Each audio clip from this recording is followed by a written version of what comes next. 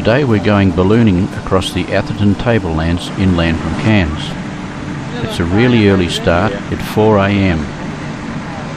When we get there the pilot crew have made a start already filling the balloon. It must be a popular spot for ballooning as there are four other companies getting ready to fly as well as us. We're with Raging Thunder. They've got a couple of balloons here.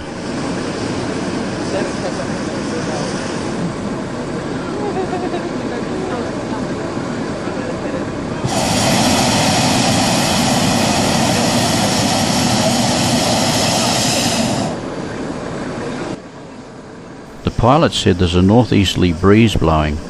It's slightly stronger than normal, so we must get up and down again before the wind picks up, otherwise, we'll end up the other side of Gordonvale.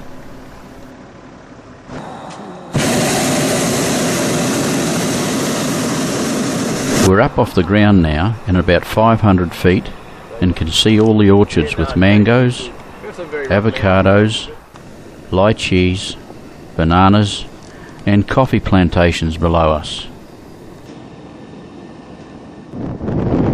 Just to the east of us as the sun's coming up is the town of Mareeba. People down there haven't woken up yet. So this is my altitude, sea level, but okay. This is my speed, so we're going 29 knots now. So we're 50 kilometers an hour. The reason we don't want to fly much later than sort of 8 o'clock is that this 50 kilometers an hour is going to come down on the surface. And 50 kilometer an hour landing is 50 fast.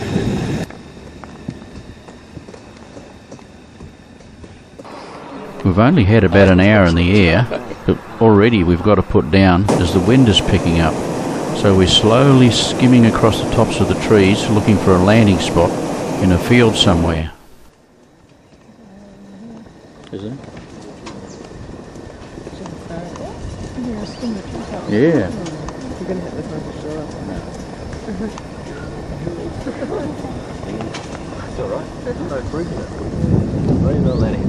Startled wallabies are scattering down below us as we get closer to the ground.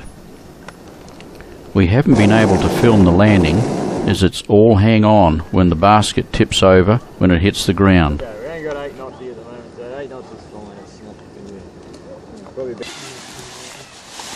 Well, that's the end of a very pleasant flight. The balloon's rolled up by the ground crew who were waiting for us, and the trip is finished.